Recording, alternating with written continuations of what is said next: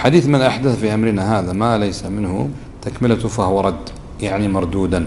هذا رواه البخاري ومسلم. هذا المتفق عليه.